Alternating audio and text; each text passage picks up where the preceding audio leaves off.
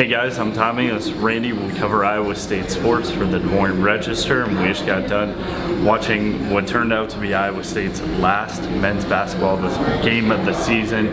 Comes to an end with a loss to Virginia in the Sweet 16. Randy, Iowa State struggled from start to finish.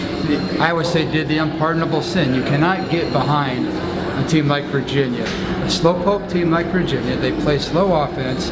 The key to the game for Iowa State was getting a lead, getting a significant lead to force Virginia to play Iowa State's quicker pace. That didn't happen. It was 12 to 2 or something like that. It was a 17 point lead very early in the game for Virginia and it was Iowa State was was forced into playing Virginia's game, which is lull you to sleep and then watch the guys dribble by you. Another big game for Georges Niang final game for Georges Niang. Uh, very emotional ending for him. Yeah, exactly. And he blew a kiss to the to the fans after the game, very similar to the Iowa game a couple of years ago. But yeah, he went out with 30 points. He went out with with style.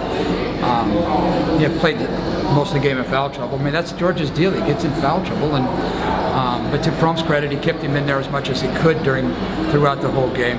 Um, yeah, George had 30 points, 28 points, and 28 points in this NCAA tournament. So I defy you to, you know, to find many guys who are having better NCAA tournaments um, than him. It's uh, you were in the locker room, I was in the locker room. What was your what was your your your immediate take when you when you were in that locker room? Very cramped locker room. uh, typical loss. Uh, you know, obviously this is a team that had some pretty high hopes. I think the overwhelming feeling from talking to everybody is uh, they didn't accomplish everything they wanted to do, uh, whether it was during the regular season or the postseason and the Big 12 tournament and the NCAA tournament. I still think it was a successful season, though.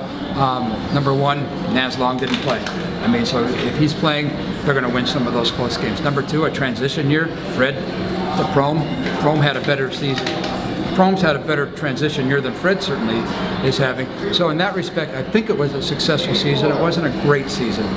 Um, so anyway, so Tommy and I are writing stories right now as, as we speak, and, and we'll have more stories as the days um, come up on, on you know, season-ending stories with Iowa State basketball. So for the Des Moines Register and Des Moines Register.com, he's Tommy and I'm Randy.